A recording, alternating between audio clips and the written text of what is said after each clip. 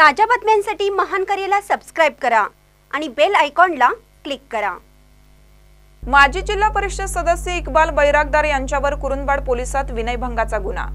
अकिवाड तालुका शिरोळ येथील माजी जिल्हा परिषद सदस्य इक्बाल बैरागदार हा पंचवीस फेब्रुवारी रोजी सायंकाळी साडेपाचच्या सुमारास येथील व्हरायटी गल्ली रस्त्यावरून पीडित महिला व त्याची मुलगी आठवडी बाजारामध्ये बाजार करण्यासाठी जात असताना संशयित आरोपी इक्बाल बैरागदार पीडित महिलेचा हात धरून लज्जा उत्पन्न होईल असे कृत्य केले असून या विरोधात पीडित महिलेने कुरुंदवाड पोलिसात फिर्याद दाखल केली आहे.